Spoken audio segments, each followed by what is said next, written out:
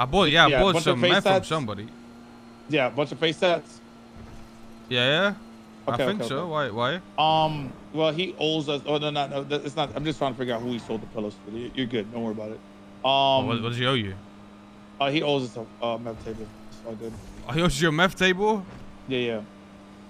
Oh. Now, no, you worried. I'm just trying to figure out who he sold it to. You know. Appreciate you, dog.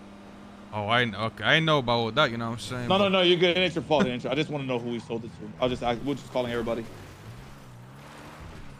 Okay. All right. Yeah. Be blessed. Yep. All right. Take it. I just put that guy in dust. I just put that guy. I just put that guy under the bus.